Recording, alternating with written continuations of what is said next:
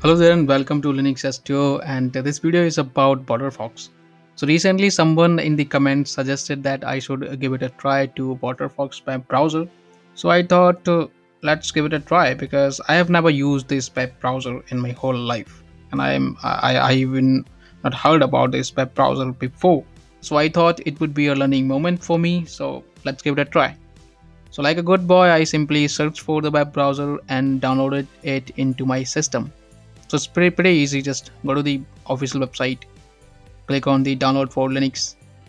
You will get the file. It's around 80 megabytes or something. Simply extract it and execute the border fox executable file and you will have your web browser. This is the web browser and uh, these guys are making some big claims. So let me just go to the website again waterfox.net great. This is the official website and if you visit this website you will see this screenshot of the browser. And it looks weird because it's kind of blank. It simply doesn't show anything. So it's it's it's uh, kind of not very cool or professional. Then they have this section where they, they they have explained all the features the browser offers. For example um, no telemetry. That means your data stays in the web browser. They do not harvest on your data. So these are the features. But uh, here is one thing. Like the height of these card cards are not same right? So this bothers me because i am a web developer designer and i know this can be resolved easily but uh, they have not resolved it. This is very unprofessional for a browser of that name waterfox which looks cool. They have a really cool icon as well. Here is this web browser and it uh, it says just like any other browser it says that it respects your privacy just like chrome says that. So i'm, I'm just going to take their words.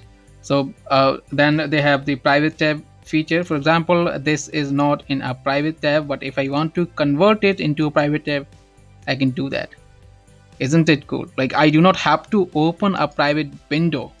The another window just like uh, uh, we do in other web browsers. I mean you can do that in here but uh, this has this feature to make the the particular tab in uh, into a private tab right from the main window. Isn't it cool? I think it's cool. So then uh, they say it's fast just like every other browser says that it's faster than others. So then they have local built-in languages just like other web browsers. It's good to have different languages built in into the web browser. It's a really unique feature. So the only feature that caught my eye is this one that it supports chrome firefox and opera web extensions. I mean chrome and opera extensions are same. There is no difference but firefox is uh, another thing. They have their own complete system their own and chrome has their own. So most of the browsers are based on chromium right? The open source chromium project on which chrome is based on the microsoft edge brave browser vivaldi even opera all these browsers are based on the chrome. So there are only two families in fact in the whole world. The two main family i would say uh, one is firefox another one is chromium so. And uh, they this web browser supports the extensions from both of the families which is cool so i thought let's give it a try because only this feature is cool other features uh but let's give it a try. So i install this browser and uh, let's go to the settings quickly then extensions and uh, try to install some extensions. Okay let's say um, translate. It opens up the mozilla website. Let me just install it add to the firefox. Oh it says add to the firefox. Okay it's true that it supports firefox extensions. I mean i can install firefox extensions. Let's try to install another one. And uh, let me see what are the extensions that are popular. Okay so let's install https which is kind of important one. So you can see you can install firefox extensions. Let's try chrome extensions. That would be cool. Yes i have tried that. So Chrome extensions, if I try to install Chrome extensions, there is this thing. It says add to Waterfox. but when I try to add it, this ad this appears to be corrupt. Can't be installed in this particular web browser. Then I try to install this one. It says nothing.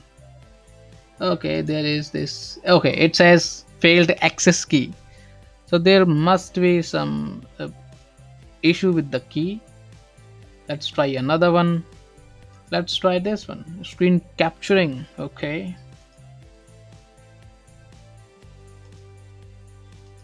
It's not showing me the pop-up. Oh it downloads it. That's cool. Let's see. It's a really big extension. And if I try to add it it says failed access key so the short version is that it, it does not support the Chrome extensions. Okay let's try the Opera extensions. Opera extensions. Here we go. Let's try to add this one. Which one? Avast online security. This one seems to cool. Add to waterfox. They nailed the modification in this one right? So if i try to add it again it's saying failed access key so they must have messed up something. I think there is some kind of issue with the chrome extensions but the firefox extensions work perfectly. And this is because it's basically a firefox clone.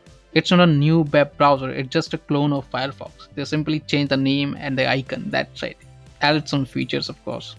So in my experience the features do not work. The one feature that seems to work is this one.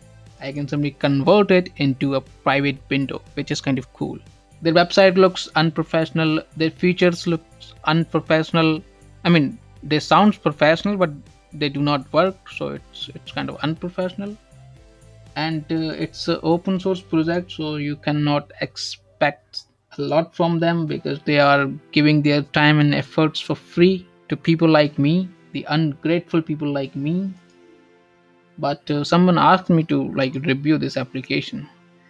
And i did that. They updated the report three days ago. What they did let me see. Okay.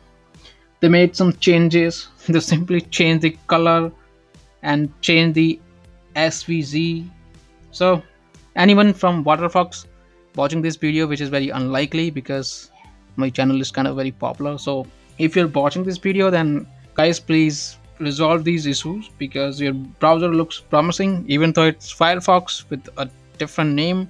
I like the features that you can convert any tab into a private tab and you and uh, there is also a potential feature which which allows people like me to install extension from firefox and chrome. From both of the providers i can use the extensions in uh, the the web browsers which is cool. Your browser is kind of fast enough just like the other browsers. It's it's not slow. Slow i mean it's firefox underneath so it's it's kind of fast. So your browser is kind of cool so just to resolve these issues and i would make another video. So here you have waterfox web browser. Promises a lot of features but delivers only one. It's my opinion. So if you like this video hit the like. Subscribe to the channel if you haven't and let me know what you think about waterfox. And uh, i shall catch you in the next one. Till then take care and keep enjoying linux because that is the most important thing. You should be using linux. I mean you can use windows or mac os no one is stopping you. But using linux kind of cool. Bye